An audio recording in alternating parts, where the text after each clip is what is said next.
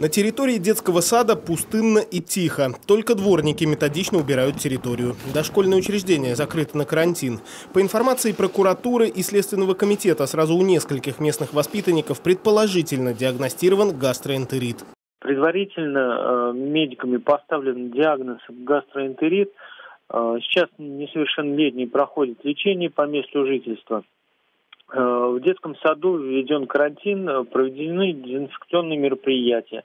Э, следственными органами проводятся проверочные мероприятия, получены образцы смывов э, воды, пищи, назначены необходимые экспертные исследования. Официально детский сад закрыт. Сейчас, по всей видимости, в нем проводятся необходимые проверки.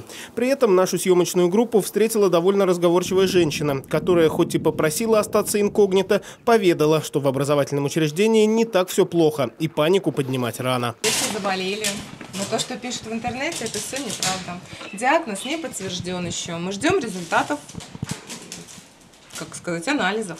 Вообще сегодня Роспотребнадзор закрыл детский сад. Завтра будет суд. Что определит суд? Либо он откроет детский сад, либо детский сад будет закрыт до 26 числа. Вопрос о дальнейшей работе детского сада будет рассмотрен после предоставления санитарно-эпидемиологического заключения Управления Федеральной службы по надзору в сфере защиты прав потребителей и благополучия человека Ульяновской области.